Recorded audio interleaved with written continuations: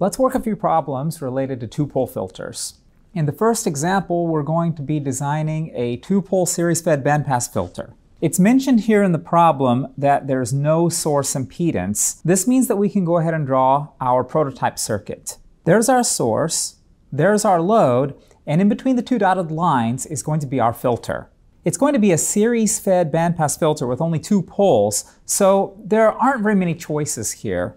I can either draw the inductor first, followed by the capacitor, or I could have drawn the capacitor first. It wouldn't make any difference. If we look at the circuit that I've just drawn, we see a source, an inductor, a capacitor, and a resistor all in series. This is a circuit that we've analyzed before. When we analyzed the circuit before, it was the resistor that came first, followed by the inductor and then the capacitor. The order doesn't really matter here because the current's going to be the same through all of the elements, since they're wired in series. In our circuit, the resistor is going to be serving as the load, so we can use the equation that we've already derived. That is, we know what the load voltage is going to be relative to the input voltage at the source. We found a formula in terms of R, L, and C, but we've also found a formula in terms of Q and omega naught. Q and omega naught were defined over here on the left. Let's take those definitions and apply them to our current problem. We're told that the 3 dB bandwidth is 0.1 hertz. Let's label that as delta F.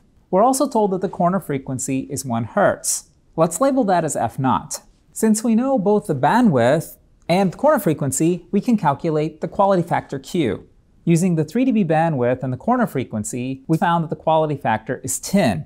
We have an equation here that relates the quality factor to RL and C, so this is also 10. The problem also tells us that the corner frequency is 1 hertz. Therefore, 2 pi times 1 hertz is just omega naught. Let's square both sides of this equation. We have now an equation relating L to C. We're told in the problem that the load is 100 ohms, so in my equation for Q, I effectively have another relationship between L and C. Let's again square both sides of this equation. I have a clear relationship between L and C, so let's substitute this inductance L into my equation over here. Solving this equation for C, I find that the capacitor is 159 microfarads. I can then very easily determine that the inductor is 159 henries. Take a look at the size of these components. They're both really large, especially the inductor. Why are the values so large? Well, if we look back in the problem, we see that the corner frequency was only 1 hertz. That's a really low frequency, and generally, low frequencies result in big components. Let's now see what happens if we make a small change. In part B, we're going to reduce the load to 50 ohms. How can we fix the filter? You see, if we don't do anything, then the corner frequency of the filter will be okay, but the quality factor Q is going to change because R has changed. How can we fix it? Since we're not allowed to change L and C in this circuit, I'm going to do the simplest possible fix. I'm going to just add a resistor to it. I'm going to add a 50 ohm resistor in series with the filter. You see, now the entire circuit looks just like it did before. The filter still sees a 100 ohm load, just like it did in part A, but the actual load is still only 50 ohms. What would I do though if the load were increased rather than decreased? I can't add a resistor in order to make a resistance smaller. Here, the load's going to get bigger. What should I do in order to fix the problem? We're again assuming that the inductance is still 159 henries and the capacitance is still 159 microfarads. I certainly can't add another resistor in series with a 200 ohm load because that would just make the resistance larger rather than smaller. So what can I do in order to make the resistance come down? Well, my strategy is going to be to add a resistor in shunt rather than in series. If I add a 200 ohm shunt resistor here in parallel with my load, the net resistance is just going to go down. Since they're both 200 ohm resistors, the combined resistance of these two in parallel is just going to be 100 ohms, and that's what we had in part A. Therefore, from the filter's perspective, the quality factor is going to be the same as it was before. As far as I know, this is the simplest possible fix. In example two, we're given a circuit that's also a two-pole filter, but it's a little bit different than it was in question one. The circuit components are not all in series, and look at where the output voltage is measured. It's measured across the load resistor, but the load resistor is not appearing in its usual position. We're going to be finding the transfer function identifying the filter type, and then we'll see what happens to the filter's corner frequency if we make various changes to elements inside the circuit. First of all, we can identify by inspection that this is very likely a two-pole filter. The reason I know it's a two-pole filter is because we have two reactive elements in the filter, one inductor and one capacitor. Let's go ahead and find the transfer function. The transfer function is just the output voltage divided by the input voltage, so we can use voltage division. The load voltage is measured across both a resistor and an inductor in parallel. Therefore, in the numerator, we have RL in parallel with SL. SL is just the impedance of the inductor. In the denominator, we have the impedance of the entire circuit. The resistor-inductor combination is just in series with the source impedance and with the capacitor. First, let's expand out these elements that are in parallel with one another. Let's now multiply everything in this fraction by SL plus R sub L. In the numerator, it just cancels. In the denominator, it only cancels in the first term. Let's now multiply everything in this fraction by SC. I can see here in the denominator that we have two terms of S squared. I'm now going to divide everything in this fraction by what I have circled in order to isolate the s squared in the denominator. I now have my transfer function in standard form. From the form of the transfer function, we can identify the filter type. We can see that this filter has two zeros and two poles. Both of the zeros are at the origin because if I set the numerator equal to zero, I find that there are two solutions of s equals zero. In the denominator, I can see that there are two poles because this says s squared, but I also know that these two poles will be imaginary. This is thus a high-pass filter.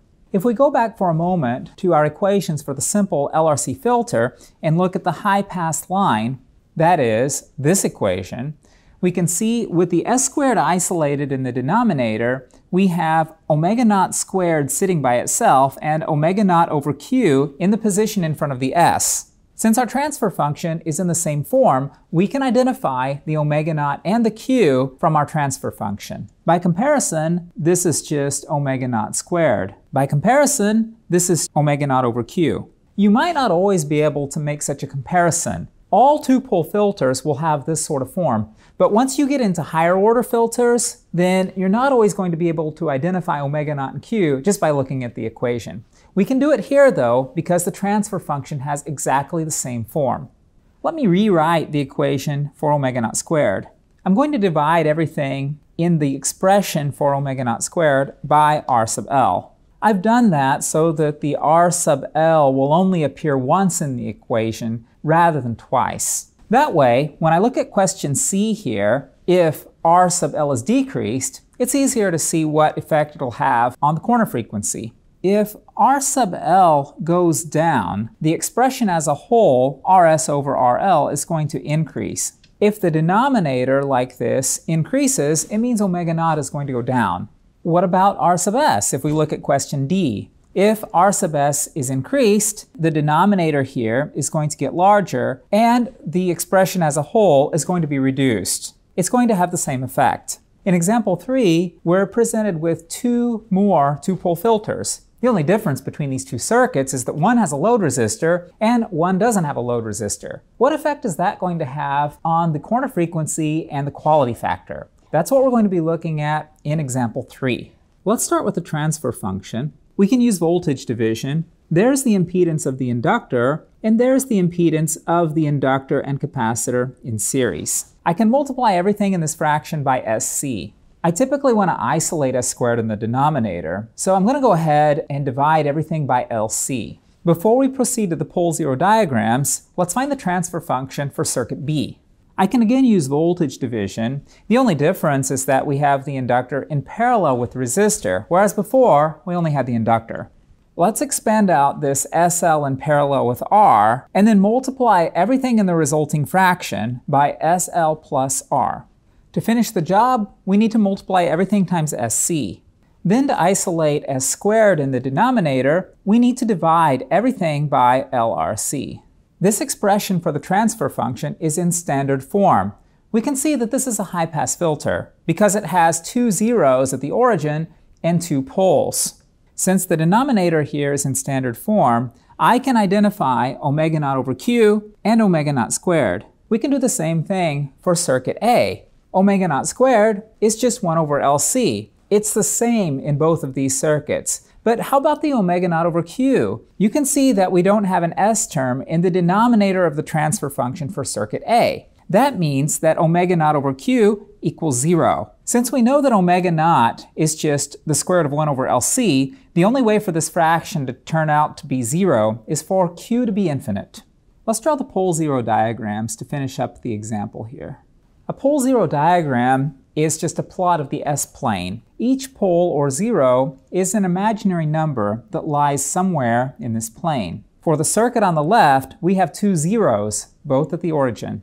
For the circuit on the right, we also have two zeros, both at the origin. To find the pole positions, we need to look at the denominator. Let's set the denominator equal to 0 and solve for s.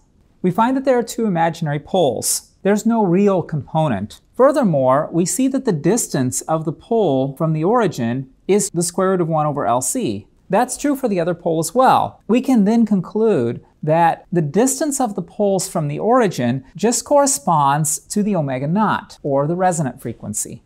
Why are the poles along the imaginary axis, and what does that say about this circuit? Well, it means that the circuit doesn't have any loss. If the circuit had used up energy, burned up energy, say in a resistor, then the pole positions would have been in the left half plane. But because the pole positions are right on the imaginary axis, I can see from the pole zero diagram that there must not be any resistor in this circuit. It's a pure resonator. It doesn't burn power. If we look at the circuit on the right, we see that it does have a resistor. Therefore, it burns up power. The pole positions are not going to be along the imaginary axis, but are going to be shifted left. We can see that both of these circuits are essentially high-pass filters. I know that they're high pass filters because they have two zeros right at the origin and they have two complex poles.